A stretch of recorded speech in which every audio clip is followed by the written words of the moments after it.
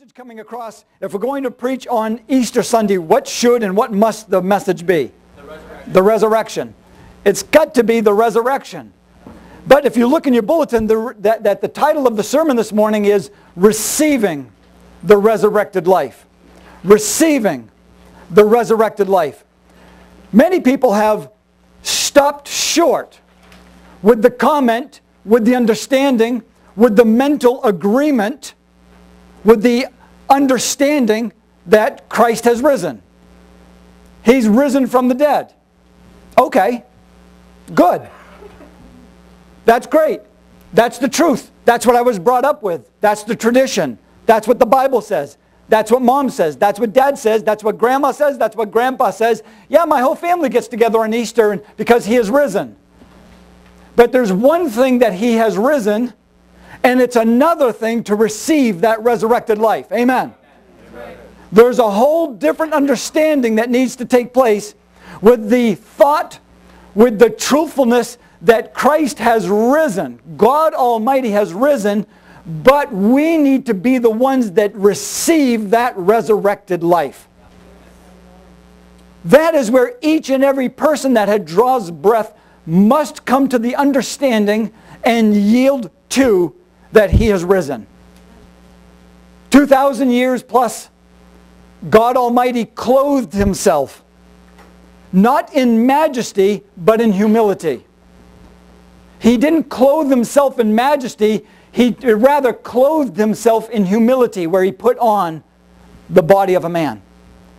All that God is was hidden, not revealed in its fullness, but hidden in its fullness.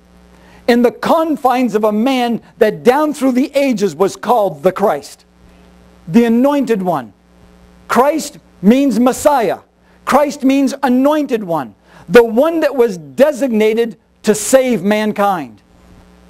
The Christ, Jesus, meaning Savior. Jesus the Christ, Christ Jesus, was sent forth for this one purpose and he understood it to die for mankind. And we look at it and say, well, Christ had to, quote unquote, die for mankind. You see, ladies and gentlemen, saints of God, back in the days of Adam and Eve, something took place. God had told Adam, do not eat of this tree, knowledge of good and evil. For in the day that you eat it, you will surely die. In that the adversary, the devil, the deceiver, the one who tries to keep people away from understanding truth, the one who opposes God because he wants to be like God, filled with envy, filled with pride, filled with deception, there's no truth in him, he's the father of lies, came to Eve and worked through into Adam with this thought. You will not die. You won't die. In other words, God lied to you. Because God said, you will surely die. The adversary, Satan, comes and says, no, you will not die. Rather, you will be like God. He lied. Now, if God is not just, if he doesn't bring forth what he said, what he said would be so, if he doesn't hold to the declaration, if he doesn't hold to that one small law, do not touch, if he doesn't hold to and deliver death as he said, then he proves Satan true. Does that make sense? He instead has to hold to the law and the punishment that he declared in order to protect and preserve his holiness and therefore his justice. He has to be just. He has to bring forth the death sentence. He's been forced into that the declaration of consequence must come. Anyone who has raised children and said, do not, and yet they do, and you don't bring forth the punishment, you can bet on this one thing, it's going to happen again. and again. dot, dot, dot. Right? ETC dot. Etc., etc., etc. It's just going to keep on going until finally someone takes a stand and says, no, 10, 9, 8, 7. When does the child move? At 10? 9? 7? 5? 1 and maybe even a fraction thereof. Push it to the extreme. But when the consequence comes, they mean business. I have had it. All right, I have finally had it. If you do it one more time, I'm telling you, that's it. Right? But until that child knows that you have really reached it, and they have learned your modus operandi, they'll carry it right to the extent. In this, God, to protect His holiness and His justice, had to bring forth this message. He had to declare a law and then he had to hold to the consequences thereof. You will surely die. Because if they didn't, it means Satan was telling the truth all along. So the death sentence came and has come. And ladies and gentlemen, saints of God, it's all around us. What's the two things that everyone always fools around with and says that you'll always can experience and count on in this life? Death and taxes. all right? Death and taxes. Death is everywhere. You probably saw a hint of it just on your way in this morning. Did anybody see a cemetery? Did anybody see something on the side of the road? It's, it's all around us. We've become so accustomed to it that it's almost natural. It's normal. The smell of it is everywhere. And it's, we've become accustomed to it, yet that's not the way it's supposed to be and will be. Death sentence has been paid for. The death sentence came forth and has been paid for, and he set up a foundation of faith and says anyone who will turn towards God, take a step, repent of, change their ways, move towards God, he will be there for them. He is Jesus, which means Savior. Save us from death. Death no longer has to have final dominion on your life. You no longer have to fear death. Personally, Gary Cote does no longer fear death, like what's going to happen. I don't and want to enjoy, I don't want to get there. I'm not looking forward to the quote unquote process. I know when my dad was coming to his latter days and my mom turned to him and said, Henry, why are you so afraid? He goes, I'm not afraid of dying. It's the getting there. it was the getting there. And I remember putting my hand on his head as he laid in bed on a coma. And I put my hand on his head and I turned down low and spoke into his ear. In the name of Jesus Christ, I release you into his hands. And he died that night. Jesus saved. From what? Gee, if he would just make things a little easier for me in this life. Gee, if he would just come and kind of kind of unlock a few doors and close a few doors and help me out a little bit here and there. Can't he just put a little bit extra in the pocket? And yeah, I'd be happy with him. I've got a 99 car, I'd like a 2001. Gee, if I just keep, if, if you really loved me, you'd show me. No, he showed you he loved you. For while you were yet sinners, Christ died for you. He's not here to just fill our pockets. He's to take you out of this world and put you into his. Eternal life, not eternal separation or death. God Almighty has walked into your presence and is ready to receive you into his dominion. Holy and just and right and perfect. Is it a struggle? Yes. He himself said, difficult is the way. But worth it is the way. Worth it. How many things people apply themselves to today for that which is perishing? And will struggle and strive. How many people have struggled and strive just to get to and risk their life just to get to the top of Mount Everest. will risk life and limb and even the tip of their nose just to try to get there. Just to be able to tell everyone else what? I did it, you didn't. It was worth it. I got there and I saw. Ladies and gentlemen, when you step into, you'll realize it was all worth it. Worth it. Because He's worth it. And He has put the deposit into our lives called the Holy Spirit that bears witness to your spirit that you will one day see Him. Many people will even attest and say, yes, we realize the Christ has risen. But rather than asking for this life, they're assuming they've got it. They're living their life by assumption rather than asking.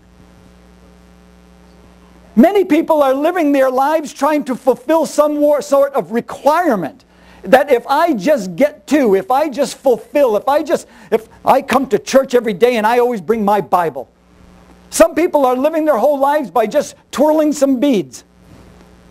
Some people are just looking and saying, if I light the candle, if I just do this, if I just do it, trying to fulfill some self-imposed requirement in order to get to the point where God will receive them. I tell you today, God has received you. The question is, have you received Him? It's not by requirement, it's by receiving. It's already been handed out. But the gift of life, of eternal life, happens to be given with nail-pierced hands. With this simple request, follow me. Follow me. I will make you into men and women of God.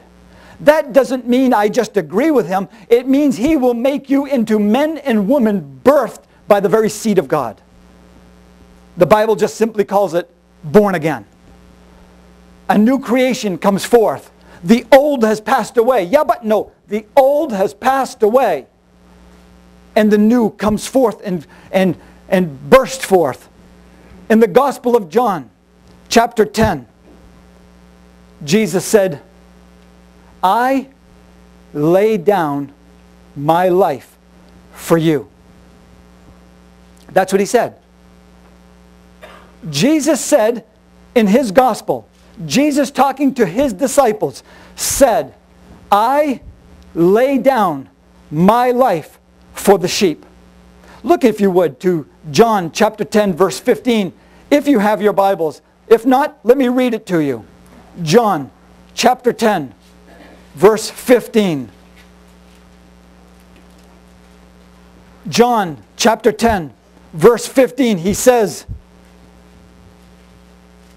as the Father knows me, even, even so I know the Father. And I lay down my life for the sheep.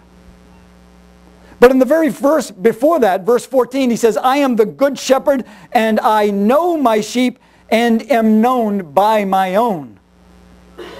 His sheep, he's a flock, he's the good shepherd, says his sheep hear his voice. And as the good shepherd, he says, I lay down my life for you. It's up to us to receive that life. And to receive it means he's going to do something in your life. He's a dynamic, all, uh, all-powerful God who, when he comes into your life of disobedience, he's going to do what? Start fashioning obedience. When he comes into our life of sin, where we're used to lying and deception and cowering and fear and insecurity and inadequacy and inferiority, when we're covered with all kinds of coping mechanisms and we're filled with impurities and wandering eyes, when we're looking all for the things of this world and we're consumed with ourselves and we're plagued with heartburn day in and day out, he steps into our life and starts unraveling the matrix of sin. He starts straightening things out. He starts bringing things into clarity. He starts giving you a new vision. He starts making the blind so that they will see. He starts unraveling things so that the poor can say that they're rich, knowing what they're walking with and into. Those who walking in death and darkness, he brings light and life. Those who served a Lord who was a taskmaster, he becomes the Lord of their life as a friend. This Savior saves our souls. And today, though, many people are walking with just simple indifference. Who cares? Oh, God forbid that who cares would dominate your life or my life. Because He cares. And fear of death is all around. And yet He has offered a nail-pierced hand for anyone who will receive Him. It's for us to receive.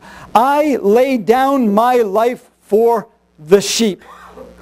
He then says, verse 18, No one takes it from me. No one took his life from him. Rather, he says, I lay it down of myself. I have the power to lay it down, and I have the power to take it up. Why? Because he's God. He's God in the flesh who took his glory and his majesty and clothed it in humility, gave his life. He didn't just come to earth and then just ascend. Where would be the resurrection? You can't have resurrection unless you first have what? Death. Had he come and taught everybody, okay, here are the rules. This is what you must follow just to prove to you that I'm God. Boom, boom, boom, boom, boom. There are the miracles. I'm astonished. Here's the teaching. Boom, boom, boom, boom, boom, boom. Follow these. I'll see you later. Cool. He instead submitted to the ultimate punishment, death. The ultimate humility, death. God Almighty suffered the consequences of death so that there would be a resurrection. It wasn't simply incarnation to ascension. The process was death and resurrection to ascension with the promise, I will come again. To receive you to myself. I lay my life down for you. To who? For my sheep, the ones who hear my voice. And he says, and I will come again. For who? For those who hear my voice. Even in this small room, there could be people who are not hearing his voice. As though I'm sharing just my own opinion. As though some man is standing here just declaring something he's thought of. But I declare the truth to you today that Christ Almighty has come and laid down his life that we might have life and never everlasting that God Almighty suffered the humility of death, the contempt of death, where devils and demons rebuked him and reviled him and spit upon him and bull, pulled out his beard. And, and, and, and he suffered the stripes and the cross and the flowing of blood for this one purpose, that you and I might have life. And it's for us to receive. Let me share a story with you.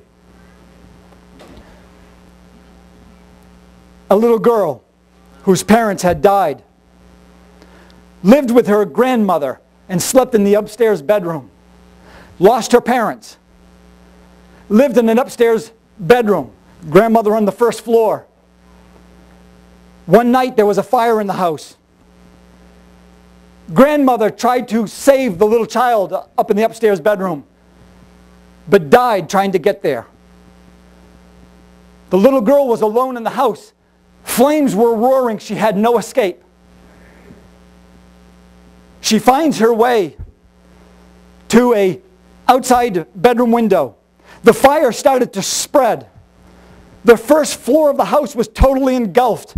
The little girl comes to the, comes to the window. The neighbors see her and they call for help. They call for the fire department. But the fire department is busy at another fire and can't get there. In this, the neighbors see the flames and there's no way that they can get there. They can't go where she is. The little girl is in the upstairs window looking out, crying, Someone help me. Can't go to grandma. Mom and dad have already died. I'm cut off. I have no one. The neighbors are just staring and looking. They can't help. We've called for help. Help has not yet come. They're fighting another fire. Suddenly, a man comes out. He's got a ladder. He puts it up against the building. He climbs up the ladder. The little girl, he hops inside of the bedroom, inside the window, and he gets inside there. Few minutes pass by. All of a sudden, he's got the little girl coming to the window. And he puts her around and holds her in one hand and he climbs down the ladder. He gives, gives the child, little girl, to the crowd who received her.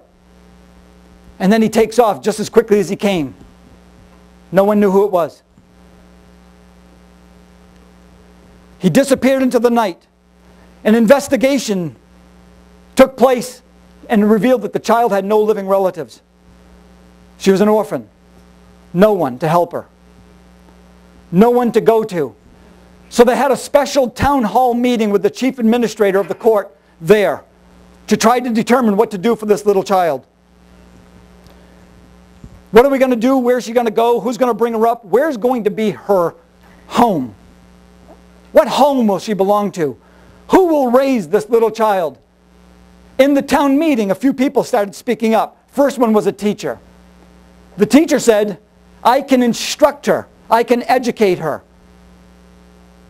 I'll show her how to conduct herself. She'll be smart, be able to go to college. She'll be a success. A farmer all of a sudden stood up in the town meeting and said, I'll take her. I'll teach her how to work.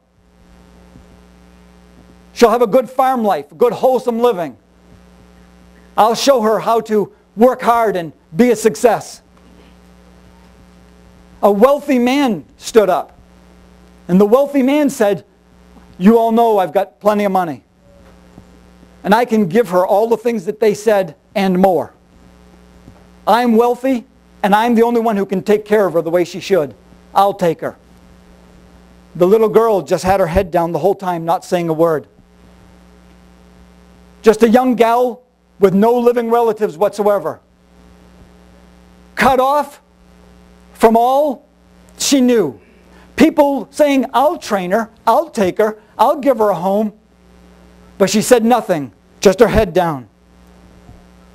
All of a sudden in the back, a man stood up and he started walking towards the little girl as she sat in front. And he had a slow gait, slow walk, somewhat painful. And he made his way to the little child and he threw out his arms. And they're all covered with scars. And she looks up at the man, fully scarred, and the people went, oh, aghast at the scars of the hands and the arms and the shoulders. And the little girl just started to beam and said, This is the man who saved me. And she threw herself into his arms. And he embraced her. And the chief administrator stood up and said, This meeting is over. Receiving the one who saved you. There's a nail pierced, scarred man named Jesus who climbed where no one else could go and saved where no one else could save. And he embraced you and brought you to safety.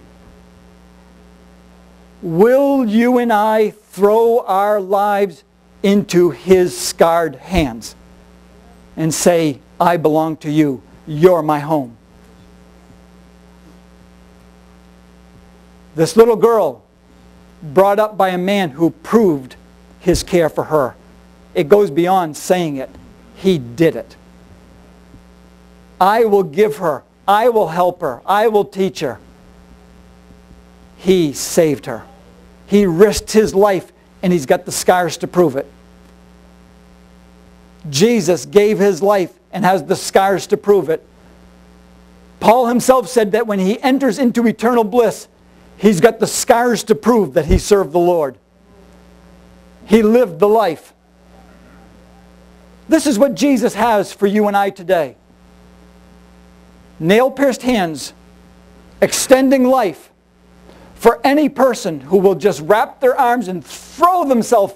It doesn't matter what everybody else said. It doesn't matter what everybody else is offering. And there are a lot of offers out there today. Just look at your TV. You'll find all kinds of offers who want to make you theirs. All kinds of mail comes in. All kinds of email comes in.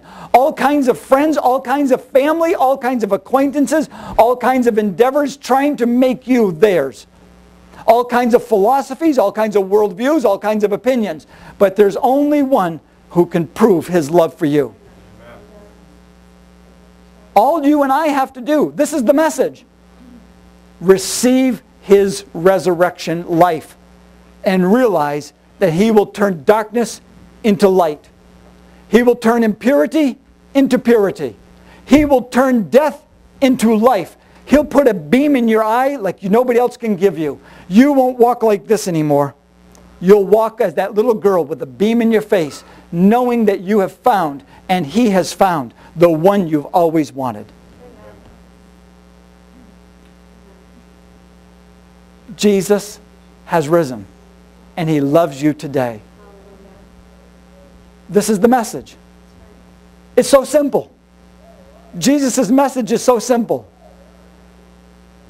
If you're saying, Yes, I receive and I want the life of Christ in my heart and in my life.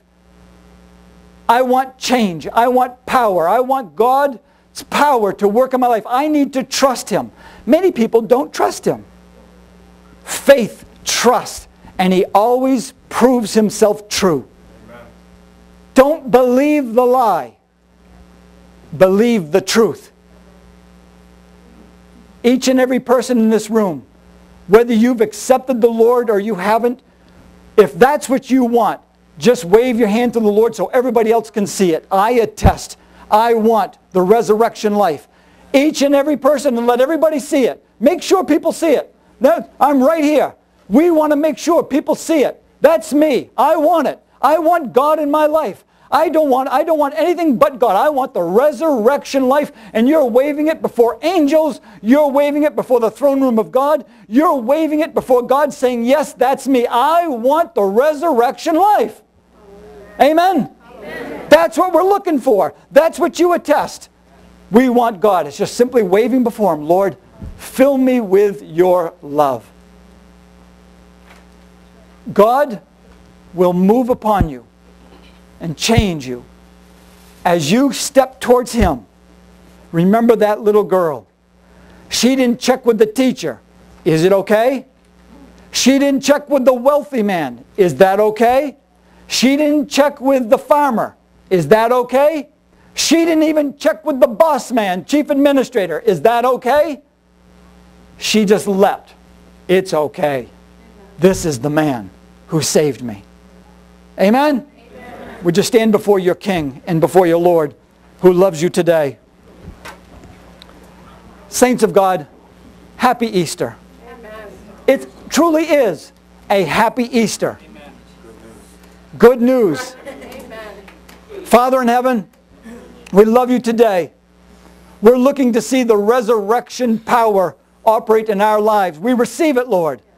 You saw, Lord, the simple movement of the hand waved in heaven seems so silly, Lord. Yet that's where the power is, saying yes to God. Yes to Jesus. Yes to your power. Yes to your resurrection. We understand, Lord, that resurrection is built off of death, which means, Lord, that we have to die that we might live. We understand, Lord. Do we want it? No, everything in us says no, but yet everything in us says yes. We want to receive the resurrection life of Jesus. Lord, unstop the ears that aren't hearing. Lord, soften our hearts that your love would have its way in our lives. Move upon our minds and give us the clear vision that walks in your light. And fill us and lead us in your holiness. For without holiness, no one will see God.